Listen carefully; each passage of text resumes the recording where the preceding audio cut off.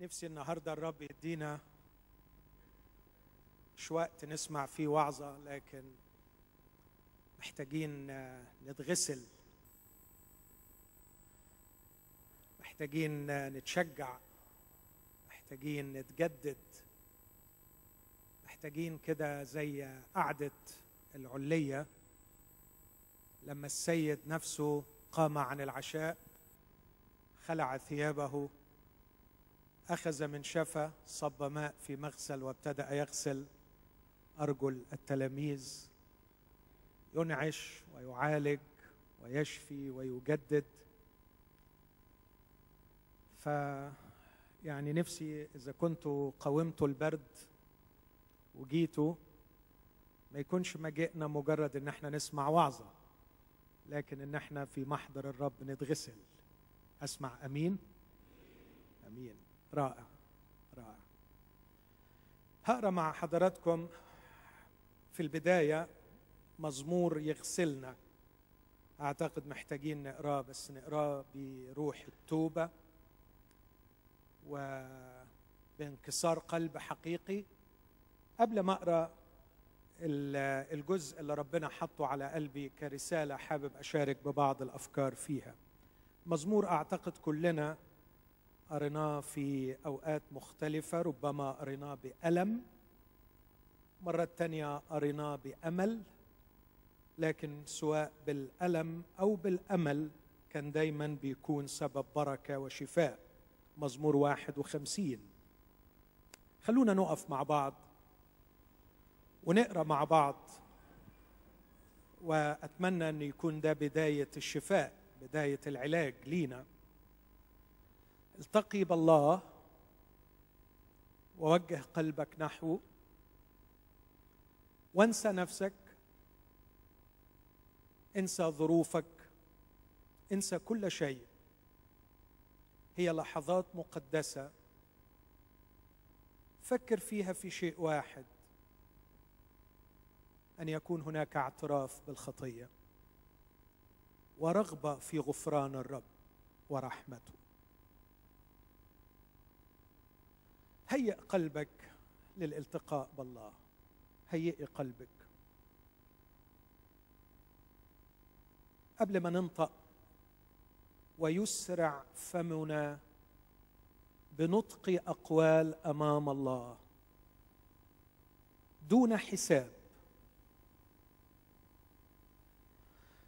الحكيم حذر من أن يسرع الفم بنطق أقوال قدام الله. هذه الكلمات لا يصلح معها التسرع. إذا كانت في خطية إذا كان في شيء لا يرضي الرب في الحياة الليلة ليلة غفران ليلة فرح ليلة اغتسال وتنقية. خلونا نقرأ مع بعض بإيمان برجاء بألم وبأمل لكي نحصل على الشفاء. أنا هقرأ في الأول عنوان المزمور وبعدين هنقول مع بعض كلماته العظيمة. المزمور الحادي والخمسون لإمام المغنيين مزمور لداود. عندما جاء إليه نثان النبي جاء إليه بكلمة الله بعدما دخل إلى بث شبع بعدما ارتكب الخطية. انكسر قلب داود وصلى هذه الصلاة. خلونا نقول مع بعض. ارحمني يا الله حسب رحمتك. حسب كثرة رأفتك امحو معاصي. اغسلني كثيرا من إثمي ومن خطيتي طهرني لأني عارف بمعاصي وخطيتي أمامي دائما.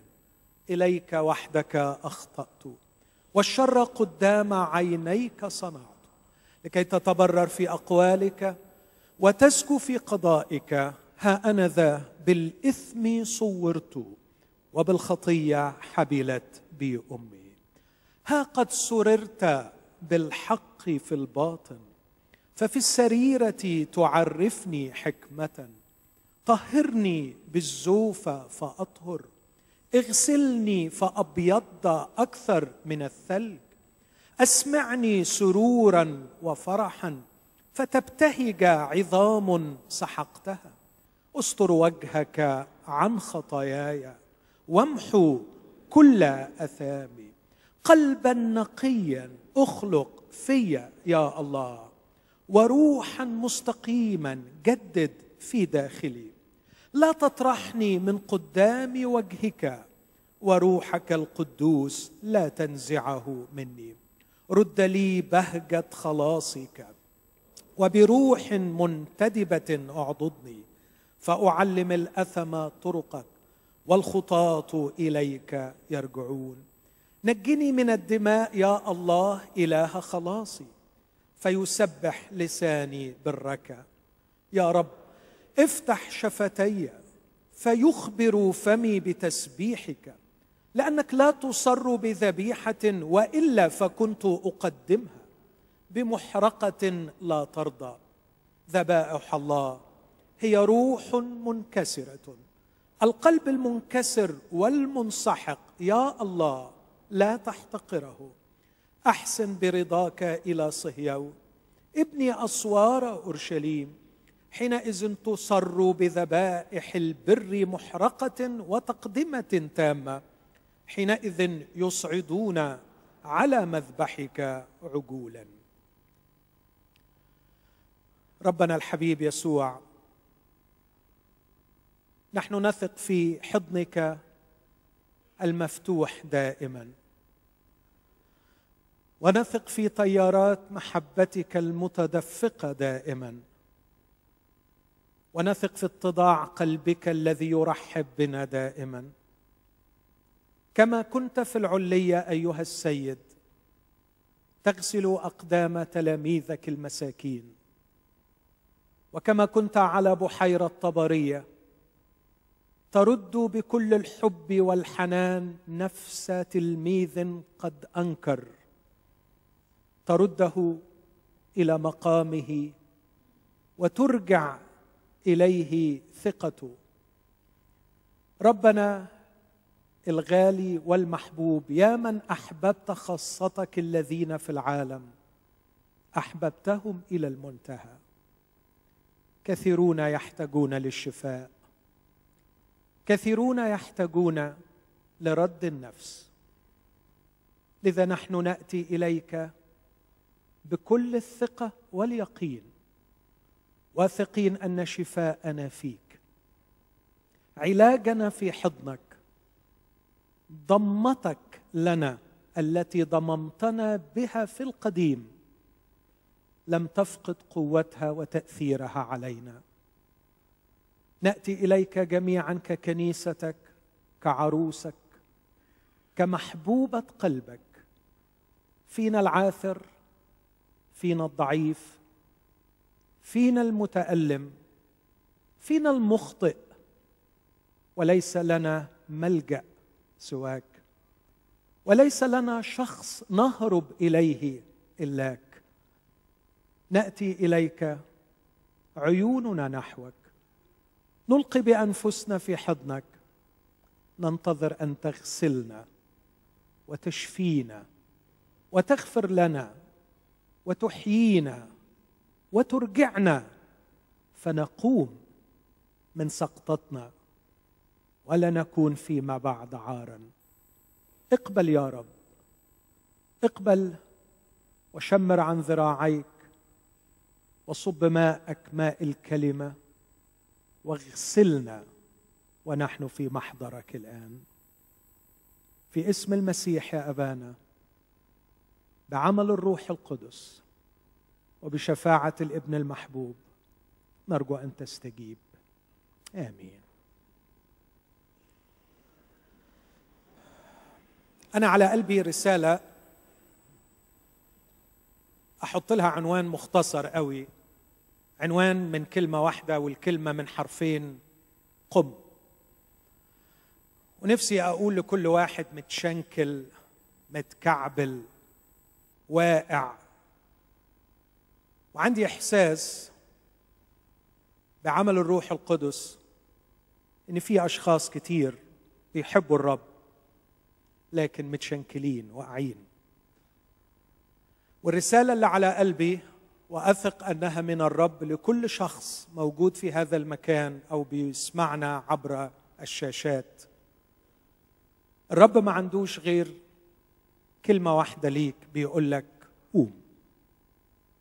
قوم. قوم تعالى.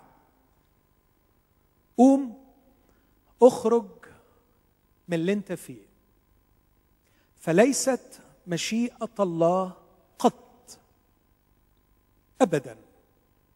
أن تستمر في السقوط لحظة واحدة. ليست مشيئة الرب أن تتأخر في رجوعك للرب لحظة واحدة.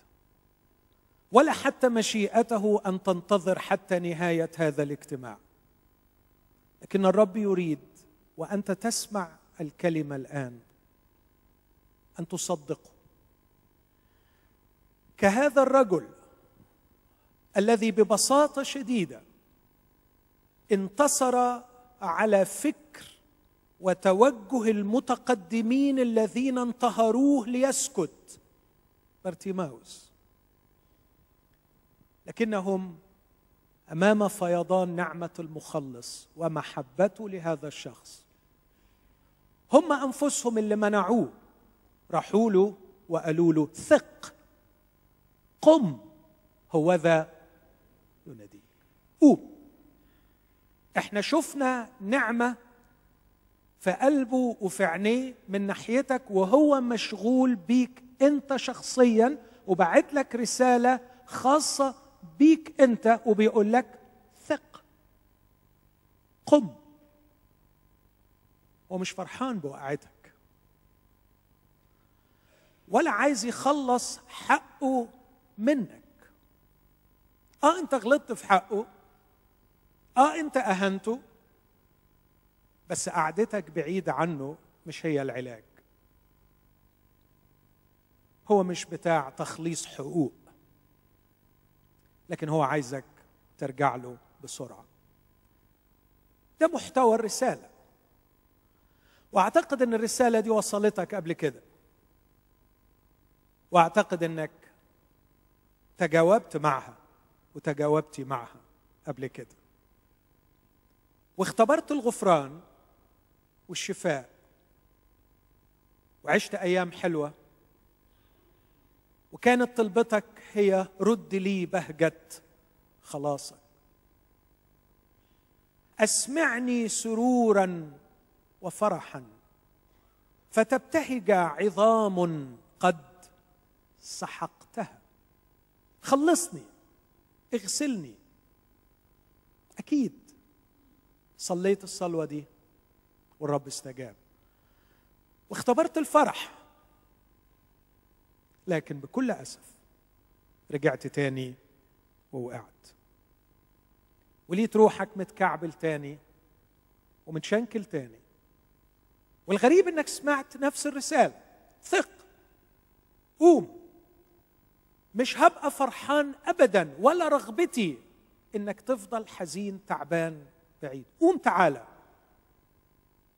وقلت المرة دي هرجع. وهغير الوضع. وبعد المرار اللي شفته مش هرجع تاني أعيش اللي عشته. فالمرة دي هكون مختلف. ورجعت وفرحت وانتصرت. لكن للأسف رجعت تاني ووقعت. ويمكن تكون النهارده جواك حالة من الفشل المخفي. الفشل اللي بيتغطى عليه. الفشل اللي صوته عالي وبيقول لك مفيش أمل. ويمكن تكون وقعت في خطأ أكبر إنك هبطت بمستوى القداسة وحاولت إنك تتأقلم مع وضع السقوط وتوهم نفسك أن كثيرين من حولك يعيشون هكذا. لماذا لا يكون هذا هو الوضع العادي؟ ونسقط في اعتياد الشر واعتياد الخطية. وربما وهي حالة أخطر كلما على صوت الشعور بالذنب من الداخل رفعنا صوت الترنيم ليكون ضجيج ترنيمنا أعلى من ضجيج ضمائرنا. وهذا أمر في منتهى الخطورة. أن نحاول إسكات الضمير الهائج بترنيمة مرتفعة النغمة. هذا خطر كبير للغاية. الليلة يا إخوتي لا آتي من فوق وألقي محاضرة لكن آتي معكم كشخص يعبر نفس الطريق ويعاني نفس المعاناة. وإذا قلت أني لا أسقط أو لا أجرب أكون أكبر مرائي. ففي أشياء كثيرة نعثر جميعنا. كلنا حتى من هو قائم. يقول عنه الكتاب من هو قائم فلينظر لئلا يسقط. آتي معكم يا اخوتي محاولا أن نتعلم معا هذا الدرس. ماذا نفعل؟ إذا ارتبكنا وأخذنا في تجربة ما. سأحاول أن أطيع قول الرسول على قدر ما أستطيع وباختصار.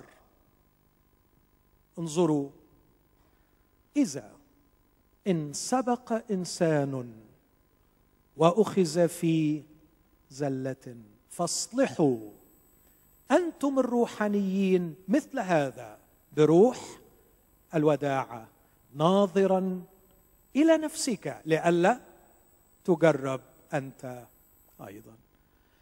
هي دي الفكرة اللي مشغول بيها. كيف نصلح الوضع إذا أخذنا في زلة؟ أقرأ من كلام الرب يسوع في الليلة الأخيرة التي أسلم فيها لأغلى الناس وهم أنتم. احباؤه تلاميذه كنيسته في الليلة الأخيرة التي أسلم فيها وهو في وضع مؤلم لكنه كان مشغول بهم أكثر من مشغوليته بكأسه المرة. في لوقا 22 عدد 46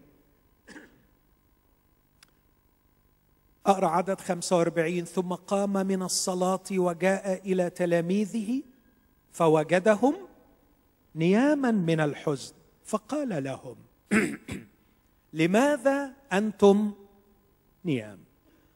قوموا وصلوا. من هنا أخذت عنوان رسالتي. قوم. قوم. قوم مش رغبته ابدا إنك تفضل نايم. قوم. قوم من الوقعة قوم من النومة قوم من التجربة قوم من الخندق اللي دخلت روحك فيه. قوم. قوم فديك ومخلصك بيقول قوموا. قوموا وصلوا لئلا تدخلوا في تجربة. ممكن نحفظ العدد ده مع بعض لو 22 46 لماذا أنتم نيام؟ قوموا وصلوا. لئلا تدخلوا في تجربة. ممكن نقوله مرة تاني؟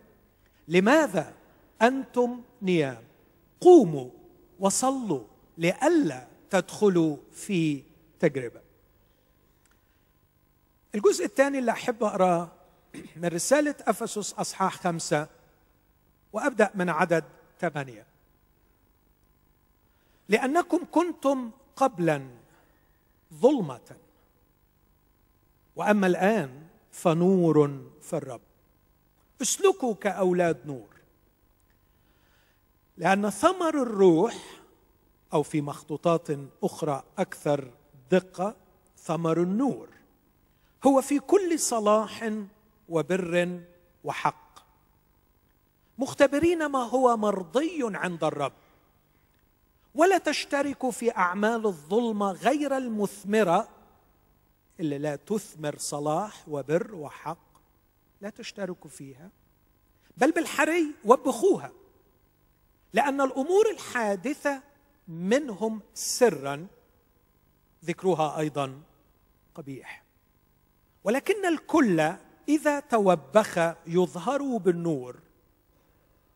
وبخ أعمال الظلمة في حياتك. وهنفهم مع بعض معنى العبارة الجميلة دي. الكل إذا توبخ يظهر بالنور. النور يكشف حقيقة الأشياء يعريها فلا نخدع فيها ولا ننجذب إلى ما لا ينبغي أن ننجذب إليه ولا نحب ما لا ينبغي أن نحبه. الكل إذا توبخ وكشفت حقيقته سواء أفكار أو رغبات أو أفعال تحتاج أن يسلط عليها النور لكي تفضح تكشف. الكل إذا توبخ يظهر بالنور. أوعى يكون في حاجات بتبعدها بتخبيها بتركنها. زمان وأنا صغير كنت بعمل غلطة. كان كل ما والدي يجيب لي لعبة وده ما كانش بيحصل كتير يعني بس يعني لما كان بيحصل كان عندي غواية رديئة إن أنا أفك اللعبة وأحاول أتعرف على مكوناتها. وطبعا بمجرد ما أفكها باظت أحاول أجمعها تاني ما أعرفش. فالحل الوحيد قدامي كنت أجيب منديل وأربطها فيه وأرميها فوق الدولاب علشان ما حدش يشوفها. بس على حظي الوحش إنه في مرة والدي قرر ينقل اوضه النوم وقرر يفك الدولاب واكتشف إن فوق الدولاب في بتاع 10 15 منديل وكشفت مصيبتي. ومن يومها تعلمت إن الصر ما خربت وطرحه في مكان بعيد عن الأعين ليس هو الحل. مرات بنعمل كذا. وقعت فيها مرة واثنين هصرها واركنها. نفسي النهارده نجيبها للنور. فالكل إذا توبخ يظهر بالنور. تعرف هو ليه جذاب؟ لأن جاذبيته تكمن في غموضه السحري الذي أضفاه عليه إبليس. إبليس لفها بغموض سحري فخلاها كذابة. تعرف أقوى سلاح هو إنك تجيبها وتفضحها تحت المصباح تحت النور تنكشف حقيقتها تذهب جاذبيتها يضيع سحرها. تفقد تأثيرها عليك لأن الكل إذا توبخ إذا كشف توبخ exposed تظهر الحقيقة ولا يوجد شيء يظهر حقيقة الرغبات والأفعال والأفكار إلا أن تسلط عليها النور. الكل إذا توبخ يظهر بالنور. ممكن كمان نحفظ الآية دي مع بعض؟ عشان تفضل كده في ذهننا. الكل إذا توبخ يظهر بالنور. بيبقى معروف جوهره وحقيقته فما يضحكش عليا. ما يضحكش عليا. واحدة من الحاجات اللي كانت سبب نمو في حياتي الروحية شخصيا إن طول عمري بتغاظ قوي قوي قوي من ان أكتشف نفسي في يوم من الأيام إنه كان مضحوك عليا. واتمنى ان يكون ده عندك. أوعى تقبل أوعى تقبل إنه في يوم من الأيام يكون مضحوك عليك. وتعرف إيه أكتر حاجة محبباني في يسوع؟ انه عمره ما ضحك عليا كان دايما أمين في كل كلمة صادق ما بيخدعش ما بيخدعش.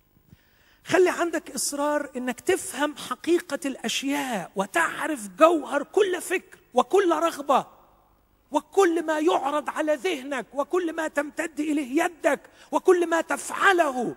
كن دائما على إصرار أن تفهم. انظروا أن لا يخدعكم أحد. هناك أستاذ ورئيس قسم الأكاذيب في هذا الكون. هو الكذاب وأبو وأبو الكذب هو أبو كل كذب. وهو يحوم حولك ويحيط بك ويلبس لك البوصة ويعملها عروسة ويخلي لك اللي ما يسواش يسوى واللي يسوى يخليه ما يسواش ويضحك عليك. وهو متمرس متمرس في الخداع. من أول مرة تقابلنا مع وشه العكر. من أول مرة في الكتاب. تفتكروا؟ قال لها بصي بصي الشجرة دي. شوفي فنظرت المرأة. اسمع كلام الكتاب غريب كلام الكتاب لما تدقق فيه. فرأت المرأة أن الشجرة شهية للنظر وجيدة للأكل. تعرف لما تقرأ أصحاح اتنين تلاقي إن الكتاب بيقول وغرس الرب الإله في جنة عدن كل شجرة شهية للنظر وجيدة للأكل. يعني الشجر كله كان شهي وجيد. لكن عرف المجرم يخدعها. زي ما بيعمل معايا وبيعمل معاكي وبيعمل معاك.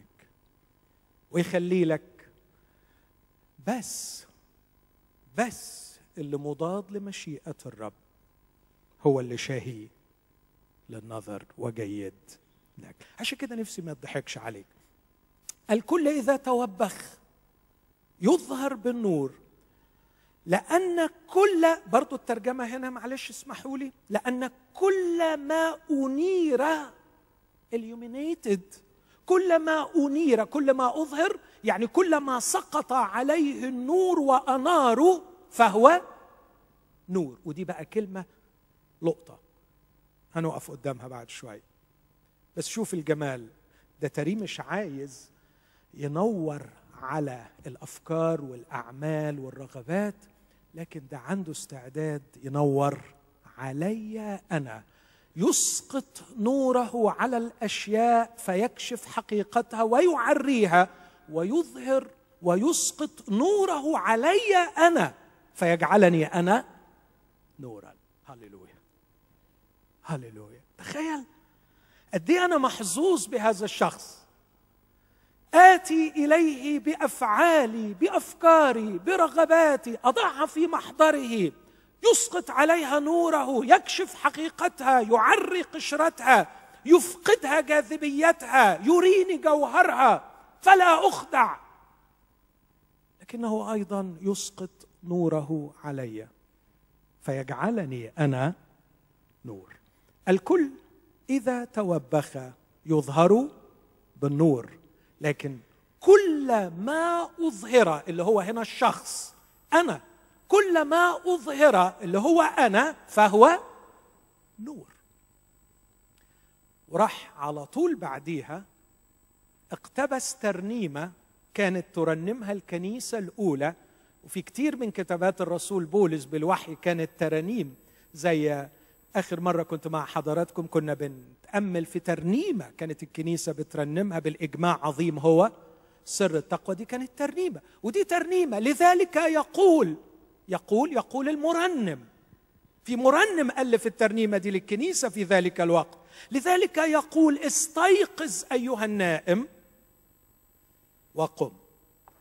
عنوان الوعظ. واضح أننا لسه في العنوان. فيعني استيقظ أيها النائم. واعمل إيه؟ ها؟ وقم. بس غريب أو الكتاب. جميل الكتاب. قول معايا جميل الكتاب. فعلا الكتاب جميل. قول الكتاب جميل. زي يسوع بالظبط. الكتاب جميل. بص جمال الكتاب هنا بيقول استيقظ أيها النائم. لو أنا اللي بكتب.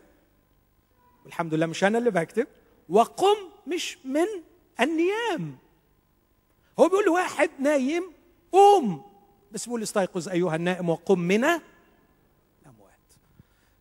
آه كنت ميتا بينهم لكنك سمعت صوت ابن الله ودبت فيك الحياة. لكنك اتكعبلت وتشنكلت. واتخذت ووقعت. ورجعت تاني نايم بس مش نايم وسط النيام لكن نايم وسط الأموات.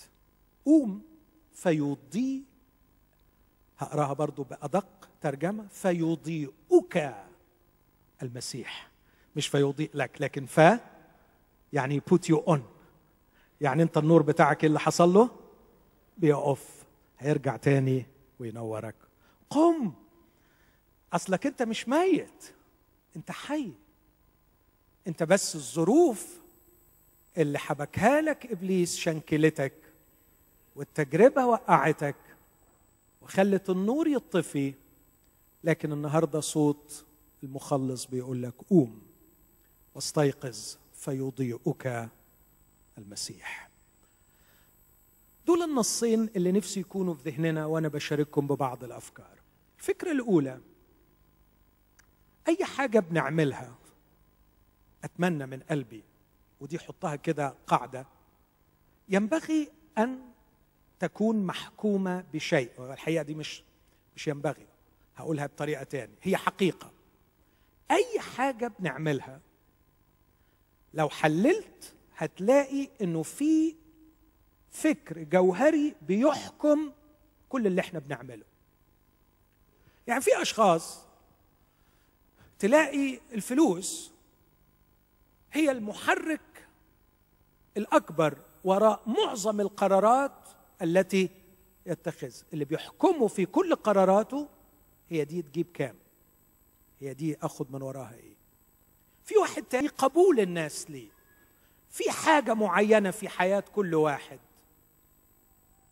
تتحكم في قراراته وأفعاله. إحنا كمؤمنين المفروض إنه أكثر شيء بيتحكم فينا هو رسالتنا في هذه الحياة. أمين؟ لينا رسالة.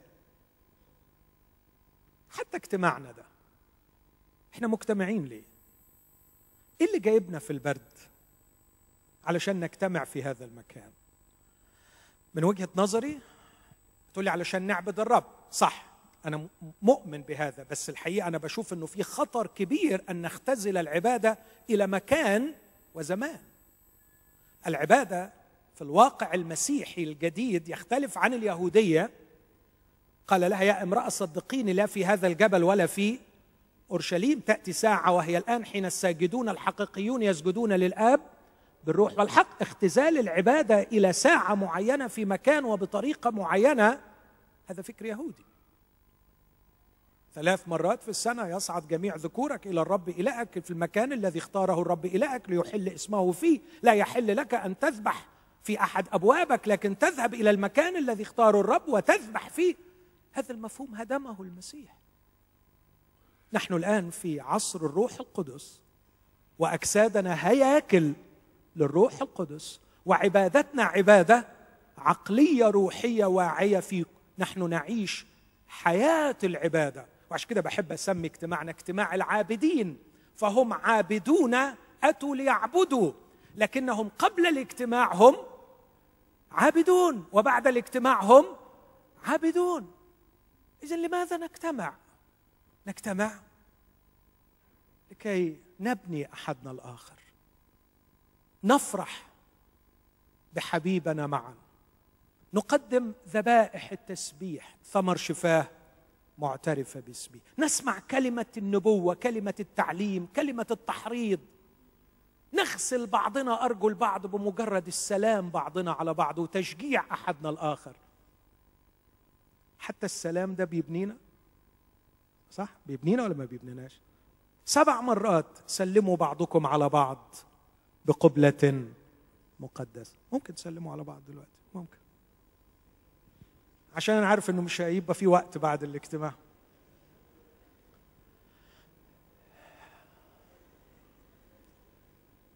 يعني بلاش الأحضان علشان الوقت بس خلاص الوقت.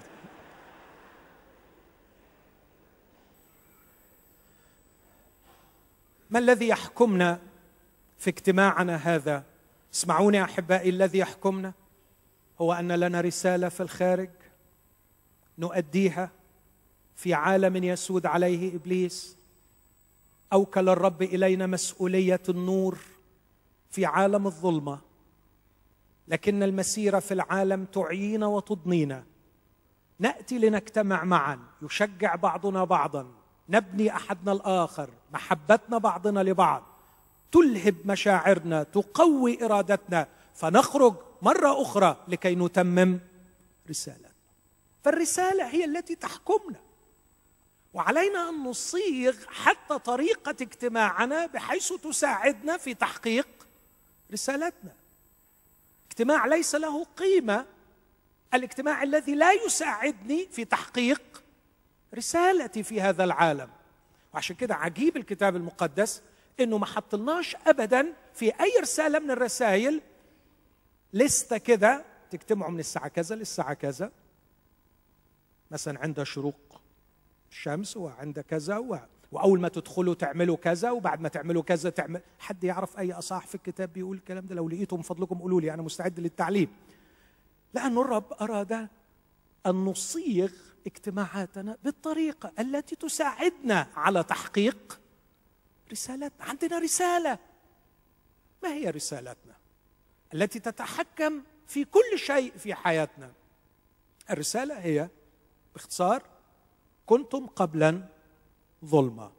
أما الآن فنور في الرب. فأنا نور في هذا العالم. ما هي طبيعة هذا النور؟ للاختصار اسال أسئلة وأجاوب بسرعة. ما هي طبيعة هذا النور؟ هو نور مستمد وليس أصيل. ولا أقصد بأنه ليس أصيل أنه زائف لكن أقصد بالأصالة أنه مستمد من غيره وليس نابع من ذاته مش طالع مني. لكنه نور كنور القمر. نور مستمد من علاقة حية بي. عشان كده كان الكتاب دقيق وجميل. كنتم قبلا ظلمه وأما الآن فنور في الرب. نور في الرب مش نور لوحدك مش نور بطولك. مش نور وانت كده يعني خلاص خدت شهادة بقيت نور بقيت الأخ نور بقيت الأخت نور. تروح مطرح ما تروح أنت نور. لا أنت نور مشروطة وقائمة ومعتمدة كلية على إنك نور في مين؟ في الرب، طول ما أنت في الرب القمر يعكس نور الشمس، القمر جسم معتم مظلم بدون الشمس. ليس النور أصيل فيه، هكذا نحن. ما الذي يعطل رسالتنا كالنور؟ طبقا للتعريف السابق هو أن نستقل عن المصدر. هو إنه يغيب عني.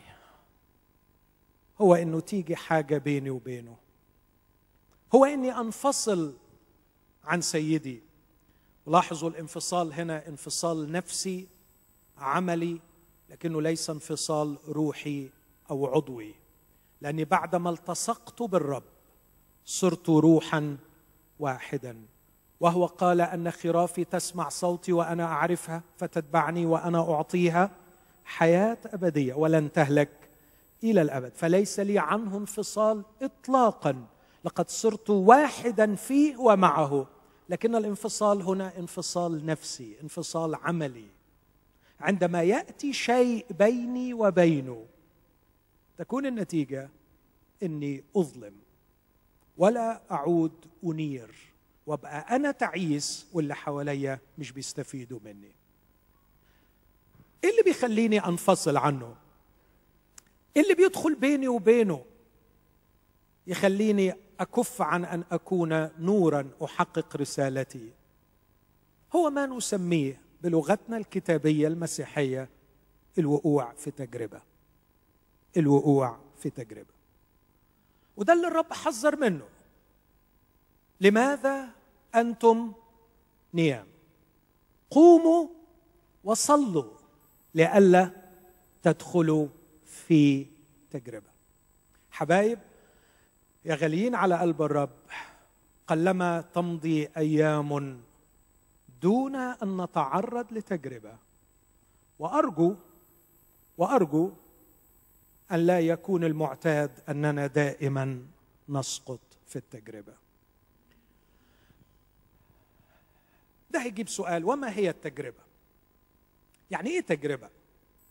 في كلمتين في اليوناني بيترجموا تجربة في العهد الجديد. الاثنين قريبين في الأصل. واحدة منهم تعني امتحان للإسقاط وأخرى تعني امتحان لإظهار الحقيقة والجوهر. امتحان واحد بيمتحنك وغاوي إن هو يوقعك. واحد بيمتحنك لأنه غاوي يبين معدنك. الاثنين دول تلاقيهم واضحين في يعقوب واحد. في يعقوب واحد يقول لا يقل أحد إذا جرب اني اجرب من قبل الله لأن الله غير مجرب بالشرور وهو لا يجرب. أحد حاشا لله إن يكون عامل لك خطة عشان يوقعك. مش بتاع كده خالص. ابدا. لكن في نفس الرسالة طوبى للرجل الذي يحتمل التجربة لأنه إذا تزكى بان معدنه ينال إكليل الحياة. عن هذا النوع يقول أيضا بطرس بطرس الأولى واحد احسبوه كل فرح. عفوا يعقوب واحد احسبوه كل فرح حينما تقعون في تجارب متنوعة. وبطرس يقول إن كان يجب أن تحزنون يسيرا بتجارب متنوعة. هذه التجارب هي امتحانات لكي ما يظهر المعدن ونحصل على التزكية. ده المعنى اللغوي لكن برضو عايز أوصل لمعنى أعمق شوية. ما هي التجربة؟ اسمعوني أحبائي وركزوا معايا في التعريف ده وأنا مش عايز أقول حاجات صعبة بس أرجوكم اتعبوا معايا شوية. التجربة التي نسقط فيها مش هتكلم عن التجارب التي من الرب لكي يظهر معدننا ويعطينا التزكية وينشئ فينا الصبر. لكن التجارب اللي بنقع فيها أقول هي الإدارة السيئة للبركة أو للأزمة تحت تأثير الشرير المباشر أو غير المباشر. هقول التعريف ده تاني ونفكر فيه مع بعض وأبقى خلصت الوعظ. ما هي التجربة التي نسقط فيها؟ هي إدارة سيئة للبركة أو لأزمة تحت تأثير الشرير المباشر أو غير المباشر. يعني إيه الكلام ده؟ يعني إيه إدارة سيئة للبركة؟ خلينا أدي لك مثل. الراجل الحرامي اللي بيسرق. إيه مكونات موهبته كحرامي؟ لو اعتبرنا إنه يعني كونه كحرامي دي موهبة. إيه مكونات الموهبة دي؟ فكر معايا كده الراجل ده أكيد ذكي. الراجل ده أكيد عنده خفة يد. الراجل ده أكيد صحته كويسة. سرق فلوس في الآخر. فكر في كل اللي أنا قلته ده. ذكي مهاري عنده صحة كويسة فلوس. كل الحاجات دي حاجات كويسة. مش كده؟ لكن الراجل ده عمل إيه؟ أدارها إدارة سيئة فسرق. أقول مثل تاني أقرب شوية. الرب يسوع قال قولته العظيمة اما أنا فأقول لكم من ينظر إلى امرأة ليشتهيها فقد زنى بها في قلبه. هذه خطية تجربة يسقط فيها الكثيرون رجال ونساء. نساء تشتهي والرجال يشتهون ربما أكثر عند الرجال لكنها الشهوة وصية الوصية العاشرة في الوصايا العشر لا تشتهي. ما هي مكونات السقوط في هذه الخطية؟ امرأة حباها الله الجمال نعمة البصر أعطاها الله لإنسان. نعمة الصحة الجسدية فهذا الشخص رغباته في حالة سليمة يمكن أن تتحرك. نعمة السلامة النفسية فلقد رغب في الجنس الآخر وليس في نفس الجنس. كل دي نعم ولا مش نعم؟ نعم وفي ناس محرومة منها وبتعاني لأنها محرومة. نعم. لكن الإدارة السيئة لهذه النعم هي التي تسقط الشخص في الخطيه التجربة إن يكون بين إيديك أشياء جميلة الرب وضعها بين إيديك لكن للأسف بتتصرف بطريقة غلط. منين بيجي التصرف الغلط؟ بص روعة الكلمة. اللي علمها الرب لنا في الصلاة الربانية الصلاة النموذجية. بص جمال التعليم. لا تدخلنا في تجربة لكن اللي بعديها لكن نجنا نجنا من الشرير. يا رب ستظل نعمك بين أيدينا لكننا نشتاق أن ننجو ننجو من الشرير بتأثيره المباشر أو تأثيره غير المباشر الذي يقودنا للفشل في إدارة النعم والسقوط في التجربة. هل نصلي أن الرب أمام هذه التجربة؟ لو تخيلت أن واحد بيعاني من تجربة الشهوة هل يصلي أن الرب ياخذ منه نعمة البصر؟ هل ده حل؟ ياخذ منه الصحة؟ ده حل؟ لا ده مش حل. الستات من الدنيا ويريحهم. لا ما أعتقدش إن ده حل. طيب نغطي له كل الستات ون... ونكفنهم علشان نريح سيادته. برضه ما اعتقدش ان ده الحل لكن الحل الحل ان الرب يعطيني خلاصا ونجاه من الإدارة السيئة لهذه النعم. إذا كان في واحد بيسأل إزاي ممكن يجي تأثير إبليس المباشر؟ تأثير إبليس المباشر وده أرجو إن إحنا ننتبه إليه وأنا هدخل بسرعة في العلاج إزاي أقوم من التجربة. إنك تفاجأ إنه في هجمه غير مبررة من الرغبة المستعرة في داخلك لا تتناسب مع وضعك لا تتناسب مع الظروف اللي أنت موجود فيها لكن شيء مفاجئ غير مبرر تجد نفسك وكأنها رياح عاتية تريد أن تطوح بك. لو كنت بتجرب هذا الأمر أرجوك تذكر أن إبليس خصمكم كأسد زائر. يجول ملتمسا من؟ يبقى عايز يبلعك في الوقت ده. تدخل مباشر من الأرواح الشريرة من إبليس بنجاسة وشهوة يريد أن يجتاحك لتسقط في الخطية. في هذه الحالة ملناش ملجأ إلا أن نطيع قول السيد. قوموا وصلوا لئلا تدخلوا في تجربة. أصرخ للرب. أصرخ للرب في ذلك الوقت. واهرب واحتمي في الرب. وثق أن الرب يقدر معاناتك. وثق أن الرب سيستجيب صلاتك. لي صديق عزيز أستاذ إنجليزي في علم الأعصاب رجل عالم كبير لكنه في نفس الوقت خادم أمين للرب.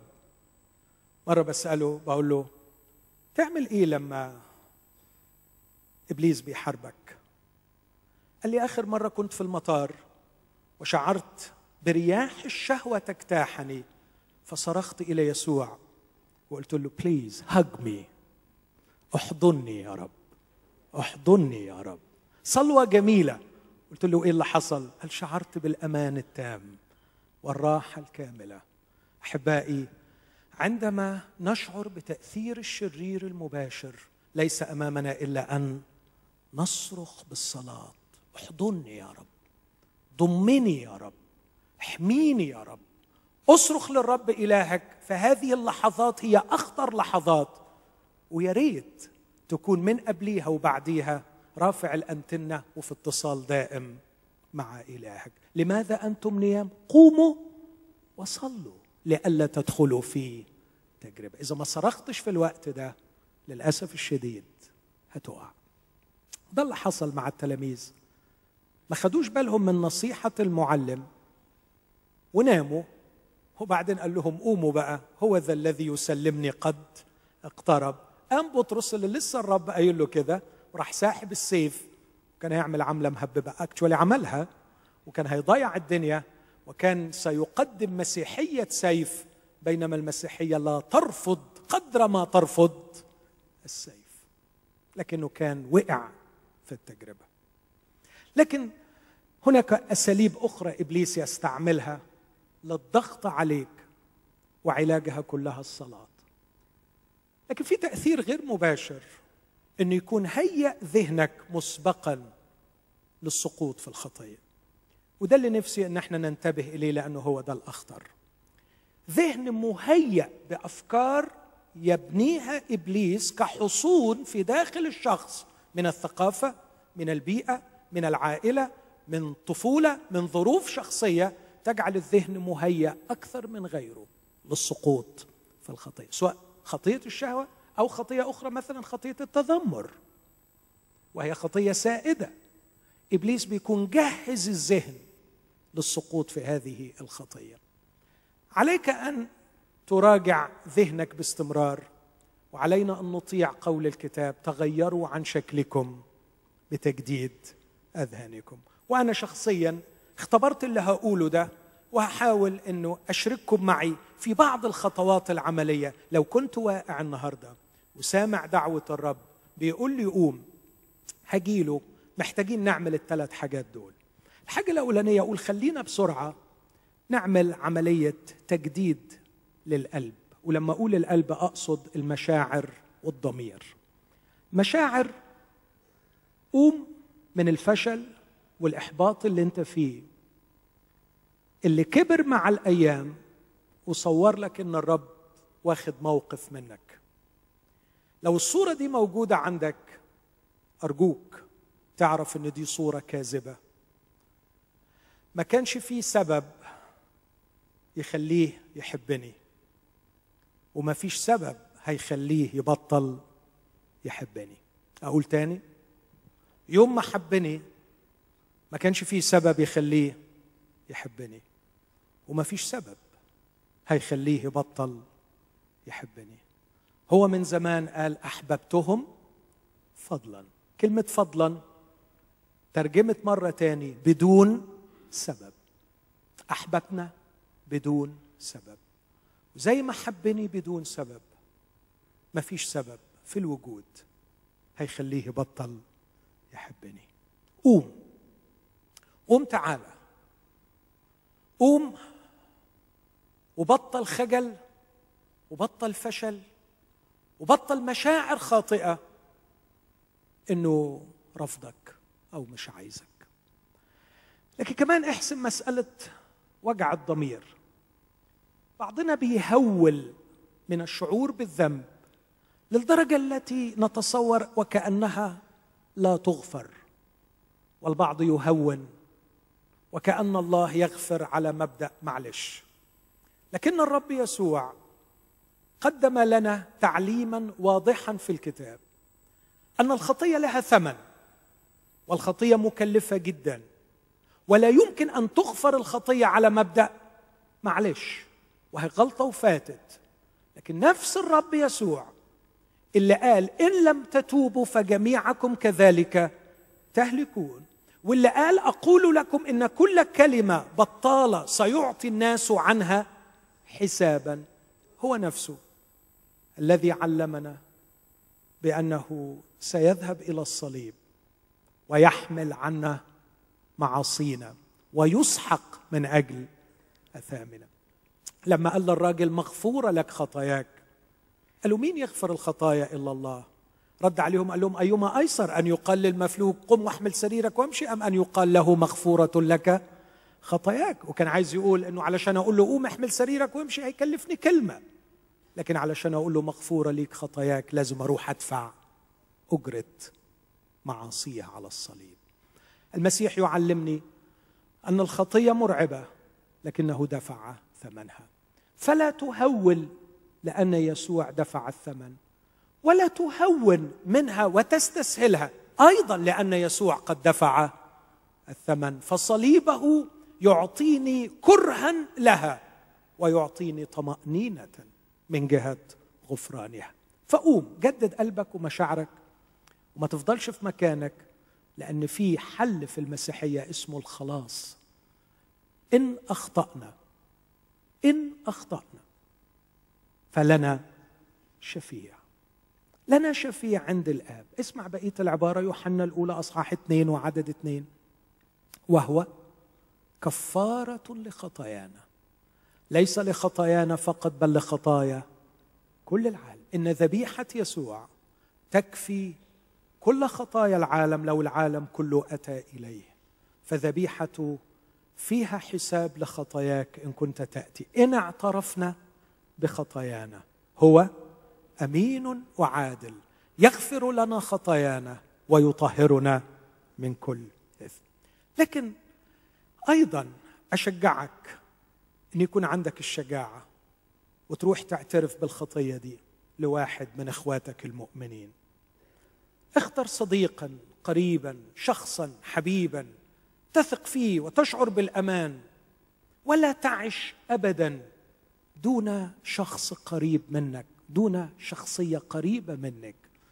يكون عندك الاستعداد إنك تكون ضعيف قدامه وتقول له على أخطائك. تكلم. ده اللي الرسول كان عايز يعلمه هنا لأن الكل إذا توبخ يظهر بالنور. هات الغلطة اللي أنت عملتها.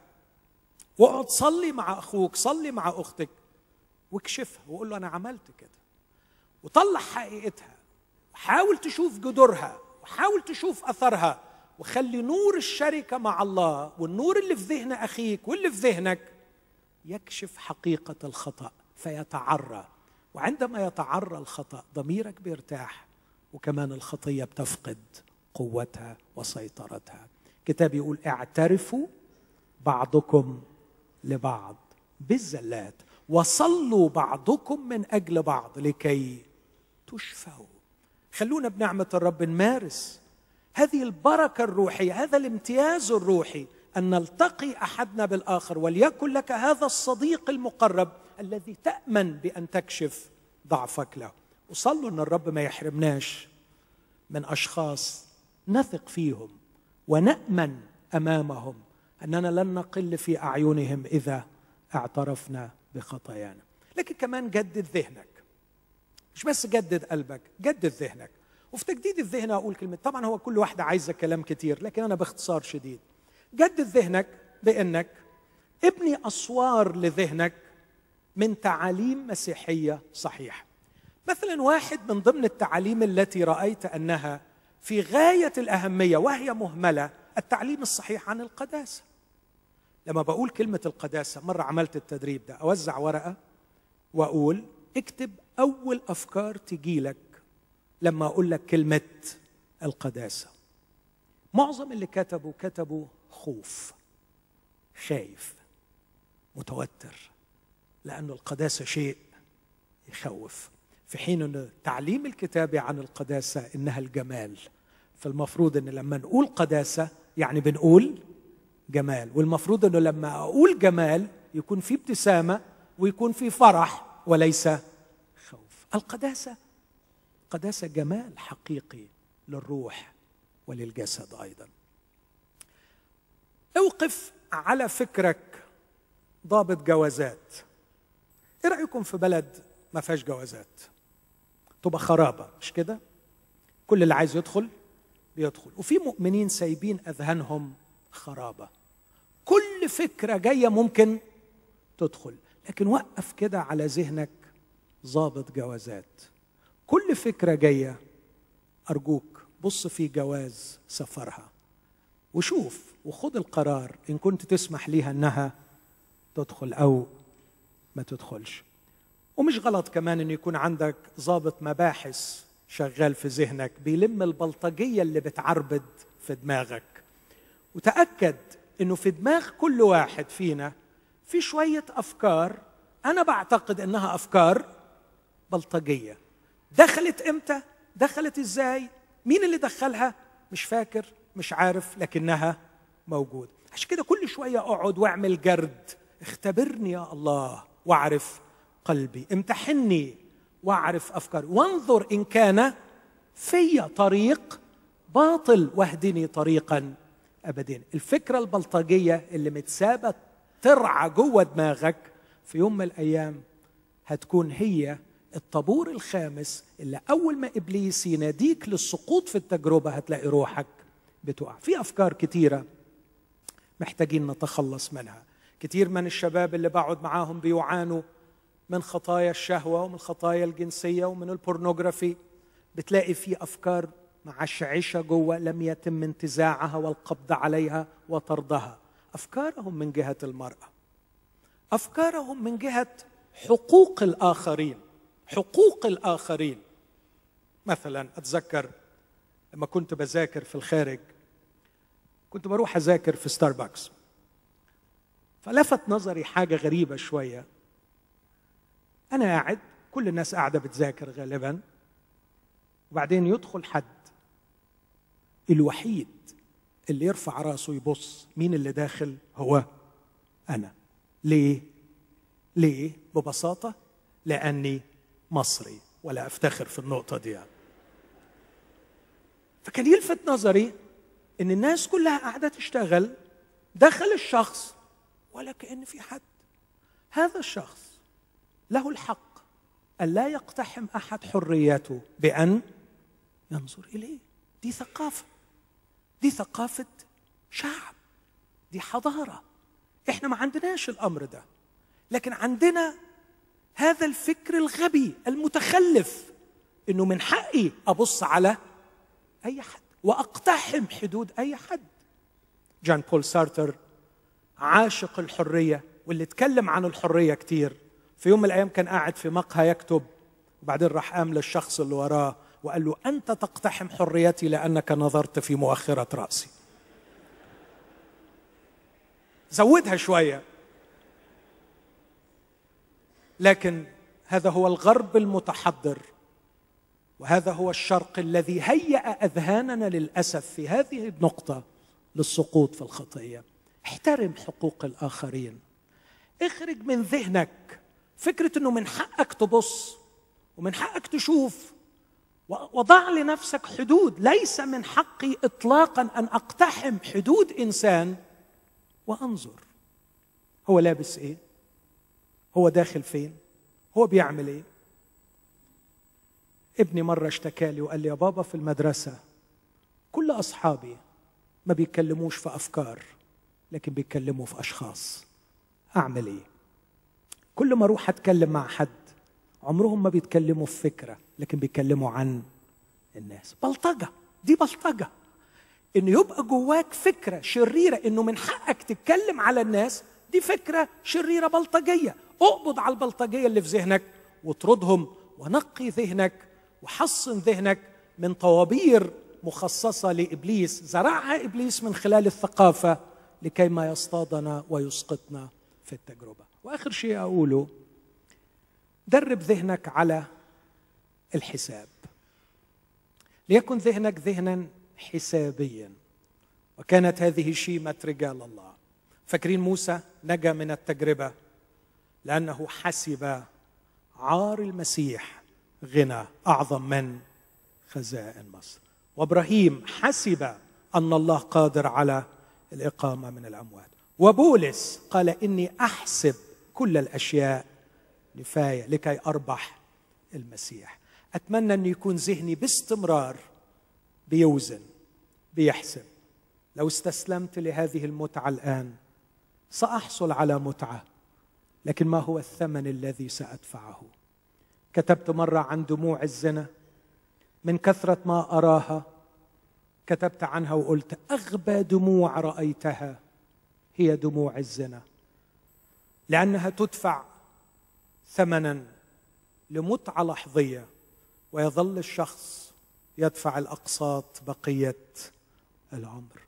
متعة وتنتهي ويفضل بقية العمر بيقسط الثمن ويزرف الدموع. علشان كده كتاب جميل جميل الكتاب. ما بيقولش الزاني بامرأة عديم الروحانية. ما بيقولش الزاني بامرأة عديم النضوج لكن بيقول الزاني بامرأة عديم العقل. إنه لا يفكر لا يحسب لم يحسب الأمر جيدا. ما الذي سأخذه وما الذي سوف أدفعه؟ جدد ذهنك بأن تبني له اسوارا من أفكار كتابية إلهية صحيحة.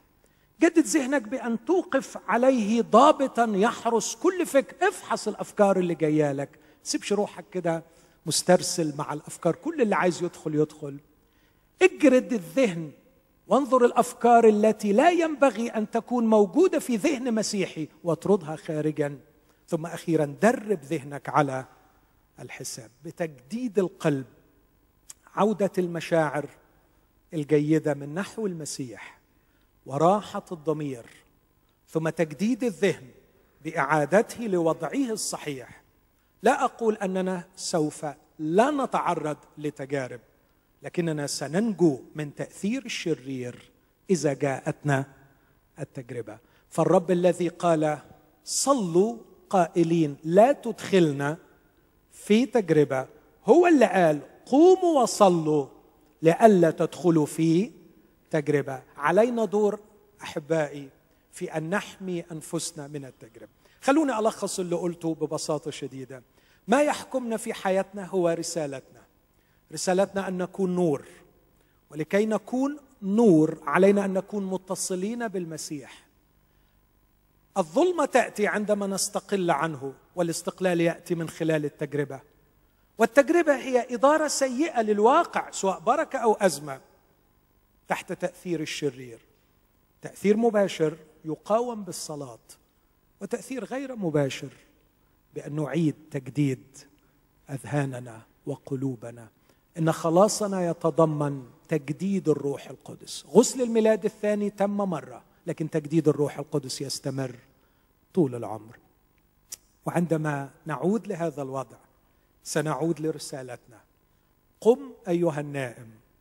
واستيقظ من الأموات فيضيئك المسيح. يحطك من جديد on أمين؟ تطلع كده on أنا ما أعرفش ليك قد إيه off أنت اللي تقدر تحكم. منور؟ منور؟ فرحان؟ قلبك مليان؟ ولا ليك فترة بتستنى الاجتماع علشان بس تسخن شوية. واول ما تطلع بره الاجتماع كل حاجة بتنتهي. واقعد حاطط إيدي على خدي مستني الاجتماع الجديد لعل الاجتماع يشغلني ويسخني ليست هذه هي مشيئة الله. الرب الليلة عايز يحطك اون قول آمين. ينورك وتبقى نور وتطلع منور وده نصيبك وده حقك. النصرة بالنسبة لنا ليست فكرة ليست مفهوم لكن النصرة واقع. حققه المسيح. بنغني ونحن نؤمن أنها حقيقة واقعة. شكرا لله الذي يعطينا الغلبة بربنا يسوع المسيح. شكرا لله الذي يقودنا في موكب نصرته في المسيح كل حين. خلونا نقف مع بعض. وانت بتحط في ذهنك من جديد ركز معايا في اللي بقوله لك ده من فضلك. النصرة حقك. الغلبة حقك. أن تكون نور في الرب حقك. وضعك. رسالتك. الرب لم يأتي بك من الظلمة لكي تعيش حياة الهزيمة. لكن الرب يدعوك. يدعوك في هذه الليلة. قم. اخرج من العتمة. اخرج من السرداب اللي مخبي نفسك فيه. هات الحاجات الغلط ما تكسفش منها. هاتها واكشفها في نور حضرته فالكل إذا توبخ يظهر بالنور. آمين؟ عندك استعداد؟ عندك استعداد النهارده؟ طلع ما تخافش. لا خوف عندي أن أكشف أمامه طالما أنه جهز غفرانه. أنا خاف لو عندي شك في الغفران. أنا أخاف لو عندي شك في أنه سيدينني. الاعتراف في محاكم البشر هو سيد الأدلة. الاعتراف عند يسوع المسيح هو وسيلة البراءة. تعترف في محكمة البشر تدان. تعترف أمام الرب تحصل على البراءة. إن اعترفنا بخطايانا هو أمين وعادل. يغفر لنا خطايانا ويطهرنا من كل إثم. أرفض وأنت واقف في محضر الرب دلوقتي. أرفض إنك تكون متعطل.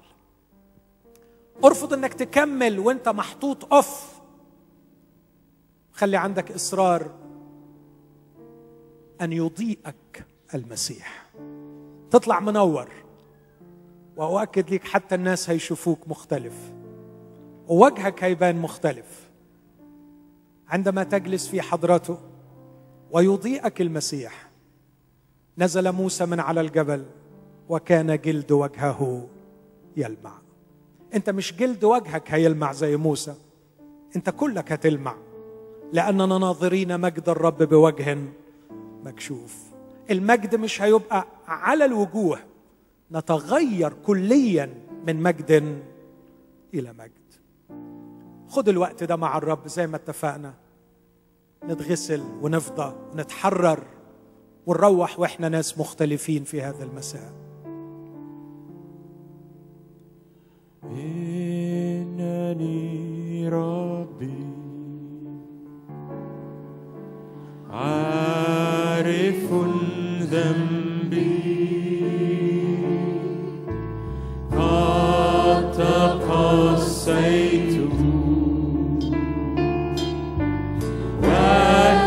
عن دربي اغسلني ربي بدم الصليب أنت يا من جئت بالفدا العجيب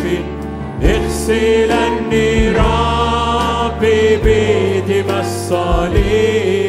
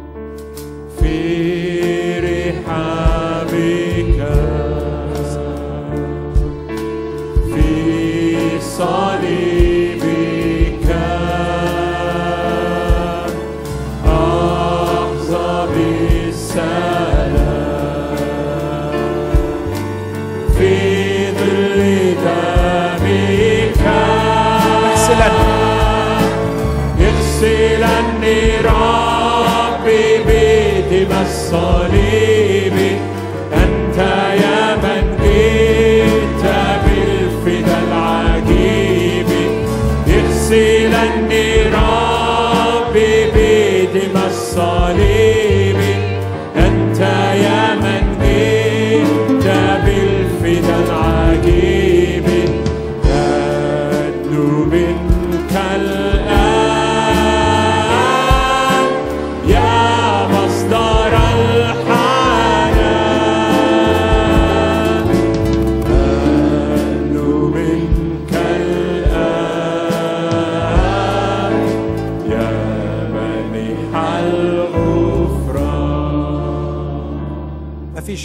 تستاهل إنك تتأخر تاني عن العودة إلى حضن حبيبك.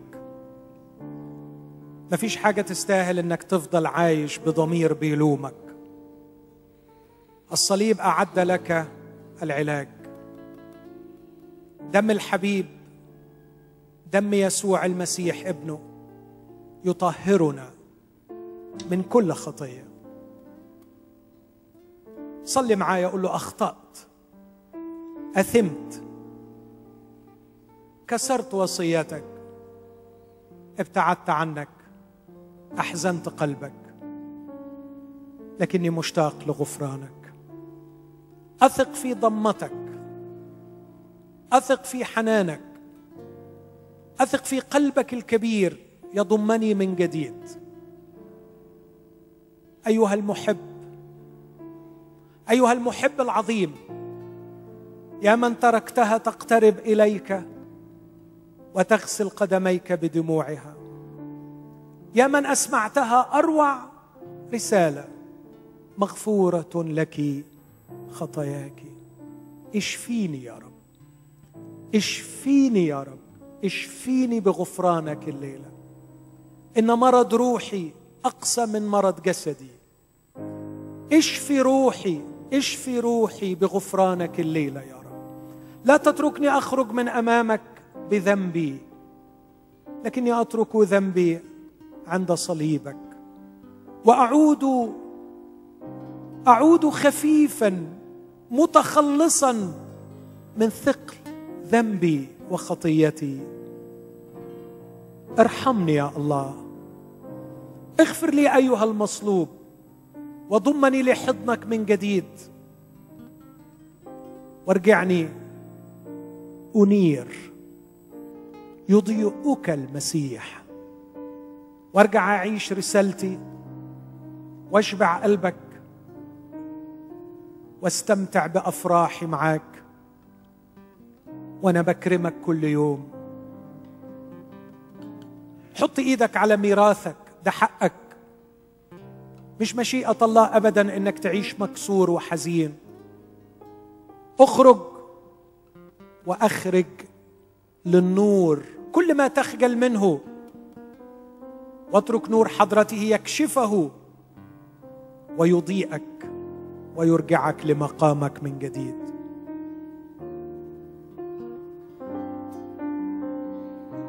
لمسة شفاء. محتاجها. لمسة حياة.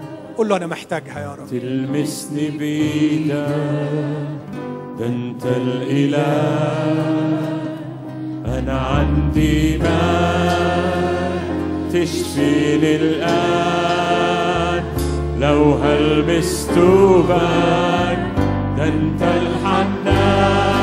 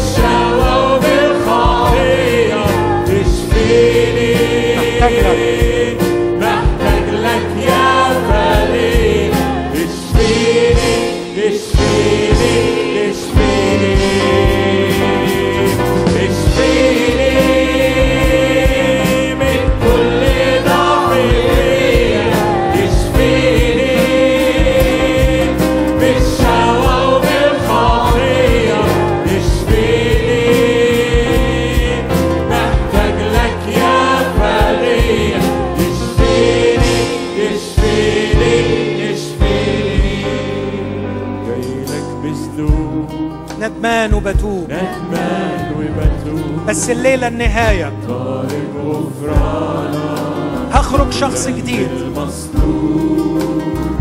بمسك في ايديك وبصدق فيك يا. يسوع اشفيني أنا راجع ليك جايلك بذنوب ندمان. ندمان وبتوب مش هرجع تاني. طالب غفرانك مضمون بمسك في ايديك وبصدق فيك يا يسوع اشفيني بحبك. أنا راجع ليك اشفيني اشفيني. من كل ضعف أنا ضعيف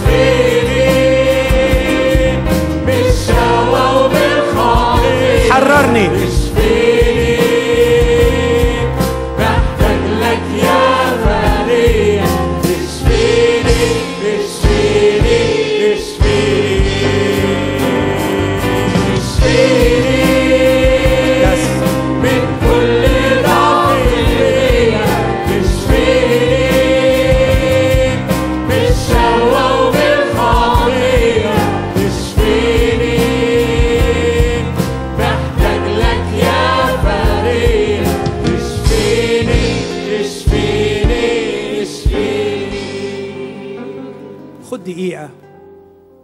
خد دقيقة كده وانفتح لروح الله.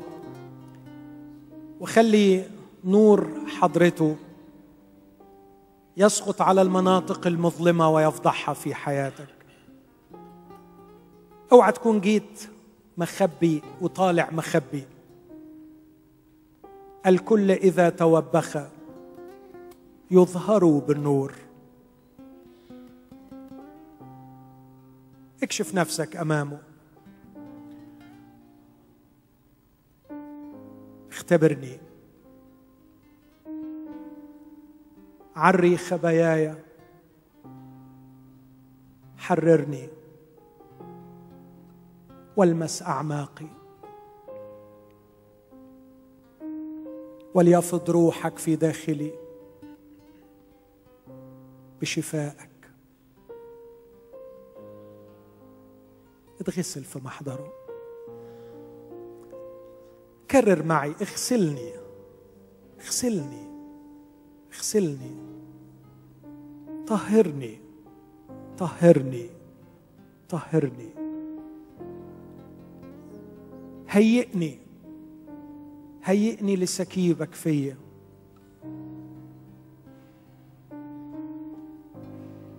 اكتسح يا رب كل الركام والتراب.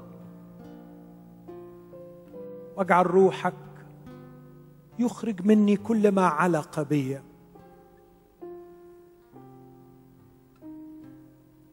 أريد أن أخرج رجلا جديدا امرأة جديدة.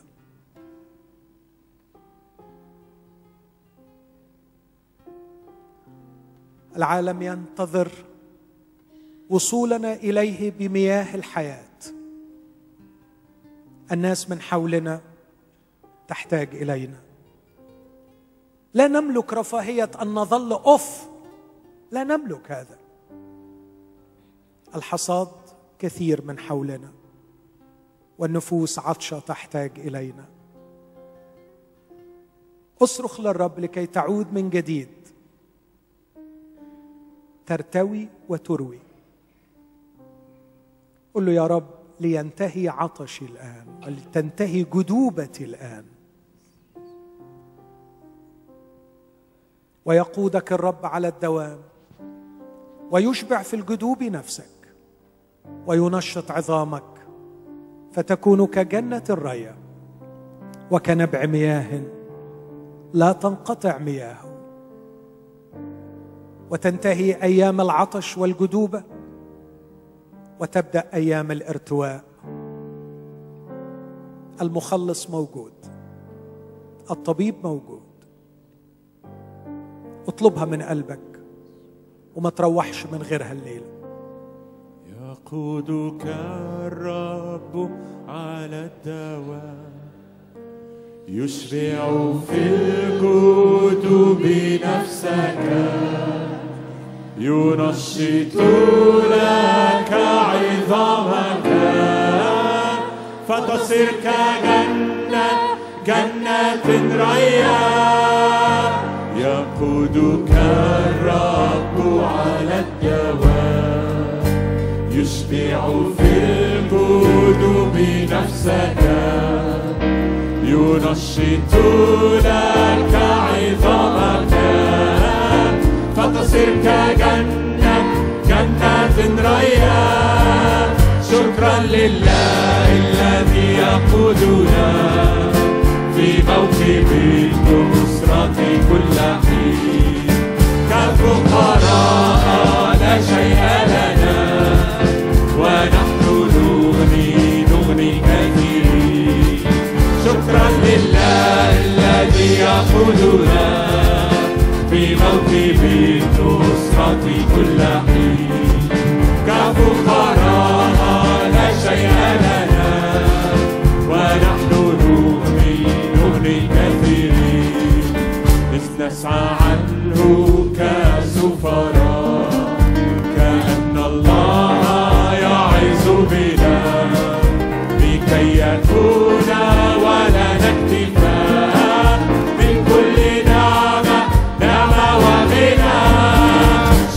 لله الذي يقودنا في موكب النصرة كل